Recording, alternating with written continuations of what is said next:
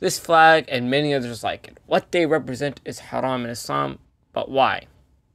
National flags symbolize nationalism and allegiance to a worldly entity, which goes against the concept of Tawheed and unity among Muslims. Our allegiance should be to our faith and the unity of all Muslims, not to borders or national flags.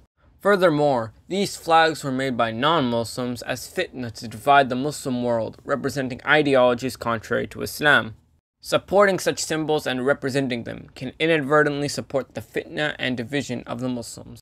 As Allah subhanahu wa ta'ala said in Surah Hujurat, O mankind, indeed we have created you from male and female, and made you peoples and tribes that you may know one another.